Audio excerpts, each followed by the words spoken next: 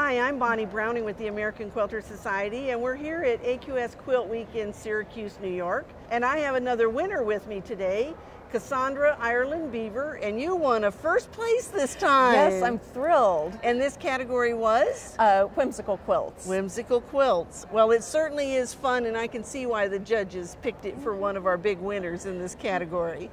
Thank you. I had actually won a second place in the whimsical category here last year. Well, so you stepped up one. I went up one. That's good. Time. Now, I know this isn't the only quilt that you have in the show.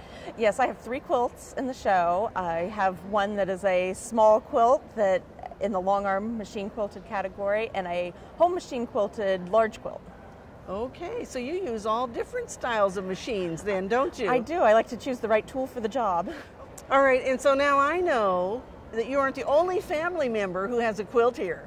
Yes, my mom has a quilt that's also in the whimsical category that's hanging right behind mine.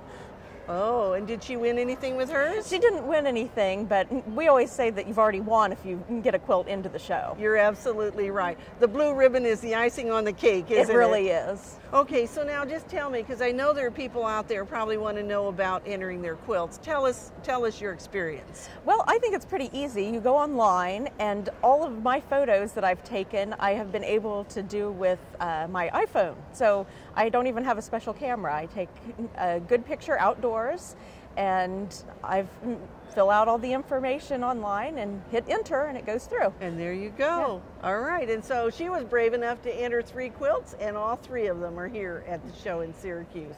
So we hope that next show we'll see an entry from you and go check out the rules because the rules for 2017 are already on quiltweek.com.